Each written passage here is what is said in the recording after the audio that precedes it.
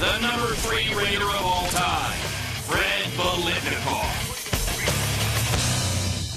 Fred Biletnikoff, I just thought epitomized everything a wide receiver should be. Not afraid to go over the middle, always making the tough catch. In 14 seasons with the silver and black, our number three Raider caught 589 passes for 76 touchdowns, despite being considered too small and too slow to play in the NFL. You looked at him and you kept thinking, how does he get open? He was not really fast. He was not really big, uh, but he always caught the ball and he made spectacular catches. 4740, hell, I could outrun him. We didn't say that Biletnikoff was a speedster, did we? We just said he had great hands. He was just fantastic. Hands, feet. Deep bomb being thrown to Biletnikoff on the left side. Leaping catch. End zone. Touchdown Raiders. He was so good at working the sidelines, so good at catching the ball and handling it.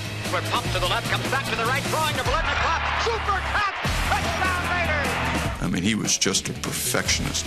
I mean, he did that every day. He practiced that stuff every day. He would he would give up his ears, his eyes, everything to catch a pass. Our number three reader left nothing to chance, so his already sticky hands were aided by a controversial foreign substance. Stickum. What?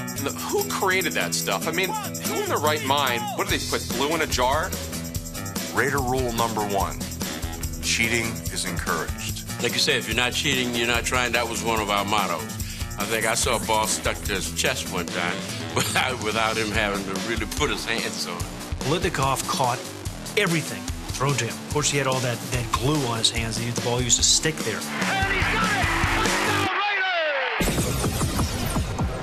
He would tape his forearms from the break of his wrist to the break of his elbow.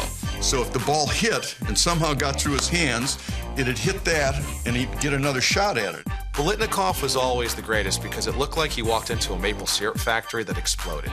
And the worst thing was that he always had gum. Now his fingers are all filled up with stickum, so there's no way he's going to open up the gum. Artificially gummy hands would put Biletnikoff lower on most lists. But since this is the Raiders, his ingenuity sticks him at number three. Did not need stickum.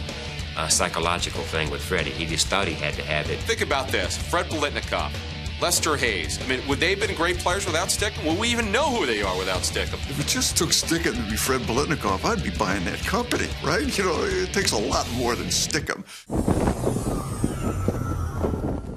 Biletnikoff's status at number three was cemented by a most valuable player performance in Super Bowl 11. Typical Biletnikoff. You look back on Freddie's career, he always stepped up in big games. Anybody who watched him, did you see him play? And if you saw him play, you saw you saw greatness on the field. But I think Freddie B certainly deserves to be very high on every list. He was an ultimate Red. He didn't ask permission.